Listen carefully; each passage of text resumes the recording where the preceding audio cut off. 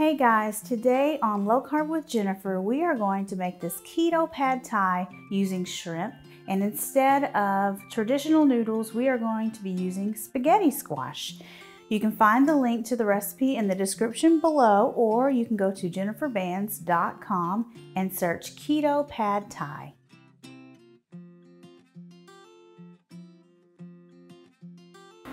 Okay, we're going to get started on our keto pad thai. And how we are going to make a keto is we're going to use spaghetti squash instead of the typical uh, noodles that are used in pad thai.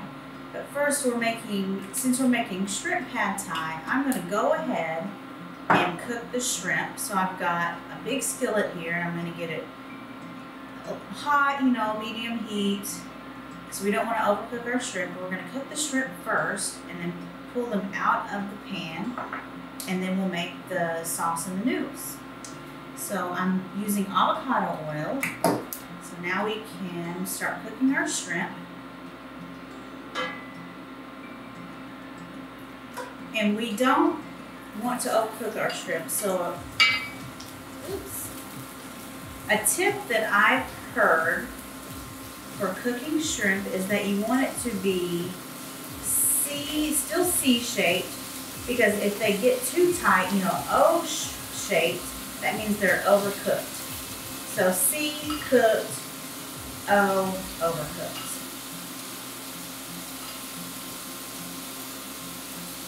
So these are, these shrimp are not very huge. They're not huge shrimp. They're, I think, large shrimp. So they shouldn't take too long to cook. Okay, these shrimp are cooked, so I'm going to remove them to a plate.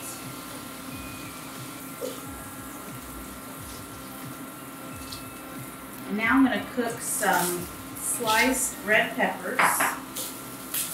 Get them softened. Okay, our red pepper are cooked. So I'm going to push that to the side. I'm going to turn my skillet down. And I've got two beaten eggs here that I'm going to scramble up really quick.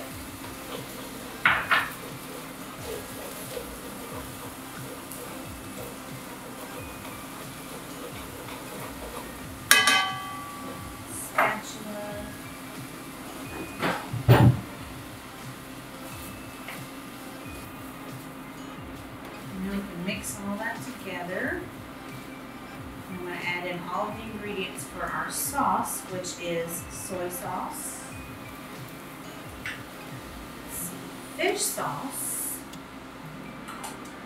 rice wine vinegar, some keto friendly brown sugar, some garlic, minced garlic, some peanut butter, creamy peanut butter,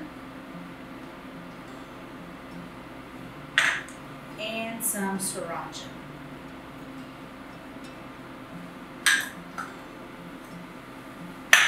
Mm, that is starting to smell so good. So we're going to mix all that together, get that peanut butter mixed in there. We can even scrape off some of the brown bits from the bottom or any egg that's stuck to the bottom. And this recipe is almost done. So for our noodles, we're going to use spaghetti squash, and I already cooked those. Um, I cooked two small spaghetti squash, or you could use one large spaghetti squash. I cooked it in the Instant Pot. It's my favorite way to cook spaghetti squash. So here is all of that. Perfectly cooked spaghetti squash. We're going to add that.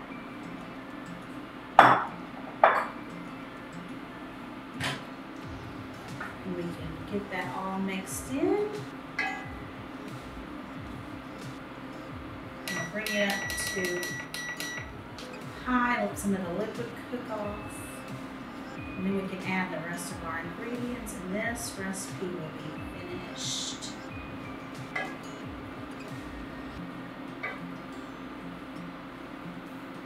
Mmm, smells good.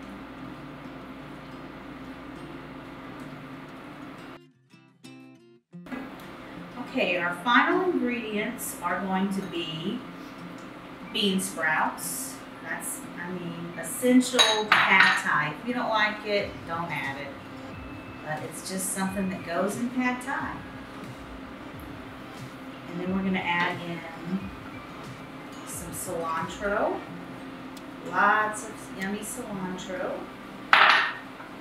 Some green onion. Peanuts. We're also gonna add some lime juice. We're gonna squeeze in the juice of two limes.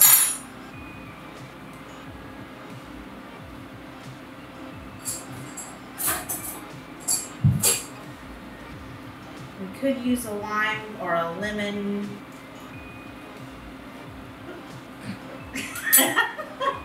and that's what I'm gonna do. Use that so I don't get lime juice in my eye. That's better.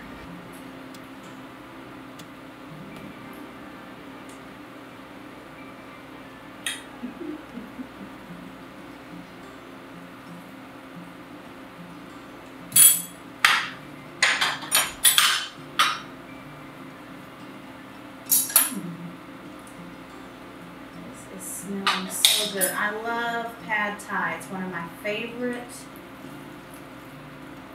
Thai recipes. Well, it's probably the only Thai recipe I've ever tried, so it's my favorite. But I love all of the cilantro and the lime juice and the peanuts.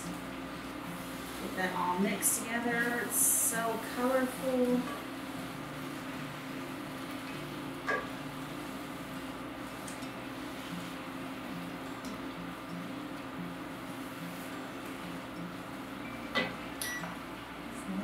Oh, shrimp. so now can add the shrimp back in.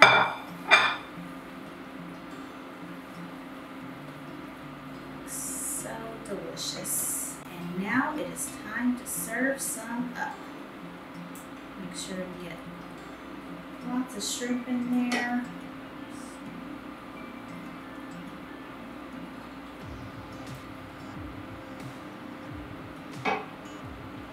And let's try it. I'm excited. I will be honest, I've never tried pad thai with spaghetti squash. Let's see. Mmm. That is so good. It tastes just like the pad thai from wherever you buy pad thai.